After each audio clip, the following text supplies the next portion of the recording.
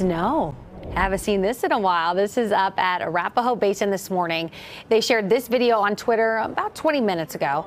This after Loveland ski area had a dusting as well, and they had out the getting ready for the, to bring out the snow guns and more snow too. Copper Mountain, check it out, sharing some snow video just moments ago. In fact, so Kylie, let's talk about this. This is obviously up at elevation. We're not seeing it down here yet, but it's it's to come. It is, and it's kind of nice to see this. I love this video from Copper. It's great when you get all the ski resorts excited on social media. And this is the kind of the lowest in elevation that we've seen so far this year for the snow coming down. A lot of, of what we've seen so far has been just the at the top of the 13 and 14,000 foot peaks. All right, look at radar right now. You can see that rain coming down. It's mostly rain. It's once you get up above 12,000 feet that we're seeing that change over to snow. But you can see that toward Copper. It looks like it's kind of changing back over at times. Live look from your Bachus and Schanker camera this morning. Dry here in the metro area. That'll be the case until a little bit later on. But right now we're in the upper 50s and low 60s for a very fall-like day, hanging out in the 70s for most of the afternoon before we drop back down into the 60s for a little bit later on. Temps today upper 70s, and you can see we're going to be a little below average,